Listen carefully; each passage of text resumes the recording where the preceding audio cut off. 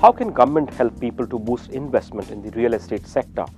Of late, due to the demonetization drive, the real estate sector seems to have been hit really badly. Thus, to motivate the buyers and provide an impetus to the overall real estate sector, the finance minister should consider increasing the interest reduction limit to at least INR 3 lakh from the current INR 2 lakh limit. Separately, the finance minister may consider increasing the limit from the current 50,000 introduced in 2016 for the first time home buyers. Further, in view of the government's vision of housing for all, a separate deduction for principal repayment of home loan aside to section 80C should be considered. This is also required as currently the overall exemption limit of INR 1,50,000 under section 80C generally gets exhausted with provident fund contribution and short-term investment avenues only.